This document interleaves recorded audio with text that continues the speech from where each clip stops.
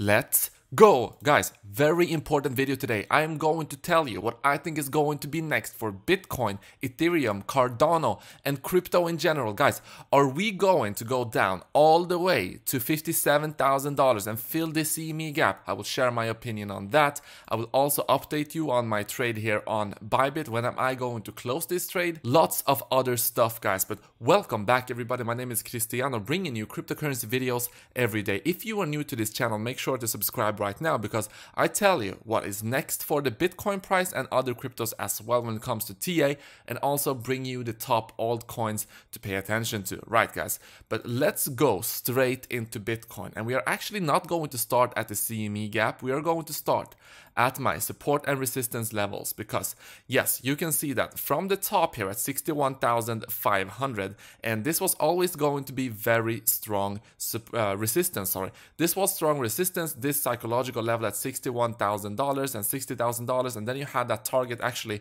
uh, like I said on the 13th of March, you also had that $61,000 uh, resistance from the target of the huge triangle. So it was decent uh, resistance at this level, but we actually pushed a bit higher and then we had that retracement. And right now you can see that we are right at the orange box right here. This is going to be pretty strong support for Bitcoin but this can only hold for so long. And I'm going to show you what I think is next for Bitcoin overall. But yes, so far we have actually had a 6.6% crash. So now we are crashing all the way down to where we were two days ago, right? So we always have to put this into perspective.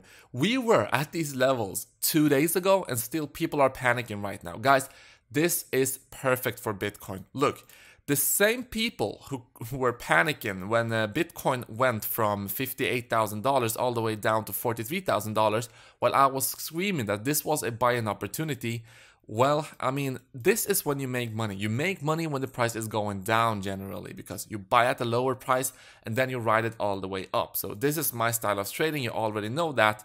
And yes, you don't want to buy all the way up here as we are breaking all-time high after all-time high after all-time high. I mean, the way to trade this was to trade the breakout right here off of the uh, orange box and then take profit as you go up. Ideally at these levels. But if you were buying up here after a, what was that, 10% pump in a day, then you are FOMOing and it's always better to wait for a better opportunity.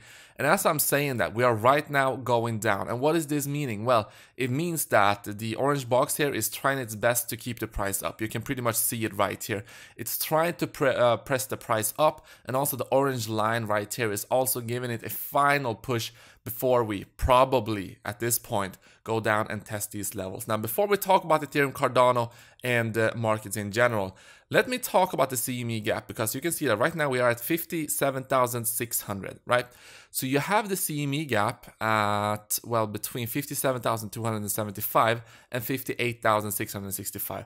So how are these CME gaps formed? Well, the CME chart, they are trading Bitcoin, but they are not open on uh, on weekends. So what happens is that you have a price going into Friday, you close the market, and then when you open up on Monday, the price can be different. So that creates this gap. So in this case, the 14th of March, sorry, 12th of March, we closed at this level, 57,305. And then when we opened up, we were opening up at 58,730. So these CME gaps sometimes they come down and fill this gap before they go up again. Now, how should you interpret this? I mean, should you be trading on these CME gaps? I would say no. I mean, this is just one thing you need to pay attention to when it comes to your trading strategy overall. This is one data point, but I would not, it's not as simple as just, you know, uh, if you have a CME gap, you just short from the top. No, that's not how it works. Although it seems to, I mean, if you look at the CME gap right here, for, for instance, you also have a CME gap. You can see that we opened up and we went up and then we came down, closed this gap before we went up again. So, I mean, it is a data point you need to pay attention to, but it's not the end all be all for crypto. So let's get back to my support and resistance levels. And yes, you can see that we are indeed now, I mean, it's still trying to make some magic, but if you look at this on a larger scale, what is going to invalidate the bullish structure of Bitcoin? So far, this is not invalidated at all. If we go to the 4 hour chart, this is still looking good for Bitcoin. We're still making higher, I mean, let me take away this. I mean, still clearly making higher lows here, low, low, low, low, low, and low. So if this remains intact, I wouldn't be too worried. And again, if we come down to any of my uh, orange boxes right here, I mean, we are at a small orange box right now. Let's see if this orange box is going to hold the Bitcoin price up on the four hourly chart. I mean, this is a huge red candle, but orange boxes in general are many times good buying opportunities. So I will tell you what, I am going to be buying at these orange lines. And if we reach the uh, orange box right here, I am going to put in some buy orders, laddering them like this, okay? So from this level and down, I'm going to ladder them in case we get that wick down. And also I'm going to ladder a couple of bids here if we get that wick from the uh, from the orange box right here. So that's what I am going to do here in the short term, guys. And if you want to start trading yourself, you're able to get insane bonuses using my referral link. So $200 on Bybit, 200 on Phemex, and 988 on C-Trade. So overall, as usual, pay attention to all of these levels and you know my strategy and we will see how it goes. Usually you make the most money when you buy at the low and then you ride it to the upside. Don't panic. Don't be too invested. We talked about this in the video yesterday that people are over leveraged. People are really over leveraged. And if you saw a, a, bit of a small dump, that would cascade down. And yes, this is actually a decent correction so far. But still, remember, we were here two days ago. So no panic. Just don't buy at an all time high. Don't over leverage yourself. Buy the dips and you are going to be fine. Now, People laughed at me yesterday when I said that if the traditional markets were to go down, actually, let's talk about the traditional markets before we talk about Ethereum and Cardano. So, yesterday, um, we opened up yesterday night on traditional markets, and you saw a couple of red candles going down here. I mean, traditional markets, we went down by, well, 0.60% uh, on the S&P 500 on the futures. Now, this is the futures. The real markets are going to be opening up in. Uh, what is that, eight hours or so, I believe. And yes, you were prepared for this because you watched my video yesterday saying that the next 12 hours are vital for Bitcoin and that you were going to see the traditional markets opening up. And as usual, that always brings the Bitcoin and the crypto prices down with them if they go down like this. So people were laughing at me yesterday for pointing out that we could actually see Ethereum go down to 1,800 and then eventually 1,734. So this is why, I mean, you should filter out the people who are just disillusioned because they are heavily invested in Ethereum or Bitcoin or whatever it is. You always have to stay realistic. And if you stay realistic long term, that is when you are going to make the most amount of money in crypto. Because look at this. We've had a, what is that, almost 10% drop here on Ethereum yesterday and today. But look, we also had that right here. In fact, this was actually 16% and people were panicking and we went down a bit more. We actually had another 13%. All in all, this uh, correction was 23%.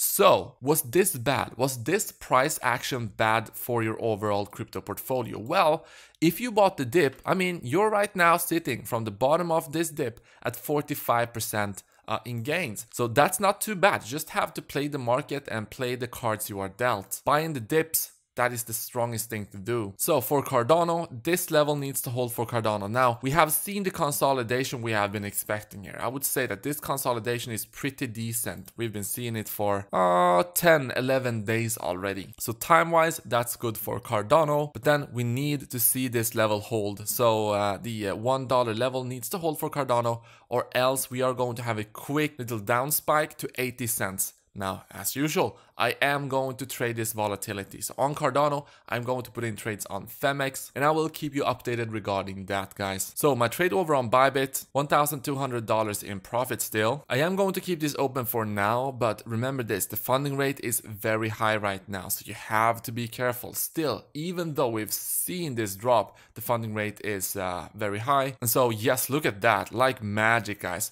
My, like magic, on my four hourly chart here, Orange box is acting as very strong support and also orange line right here. Strong support.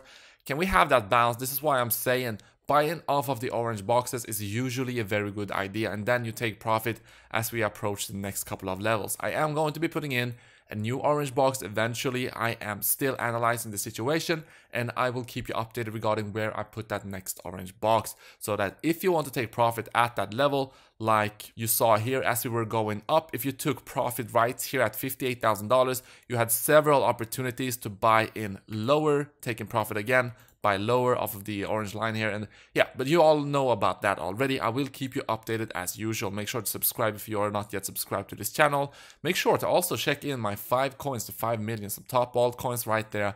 And I will see you. It's That video is actually popping up in the middle of this video right now. So if you want to jump into it right now, jump into it, click in the middle of this video. I will see you there.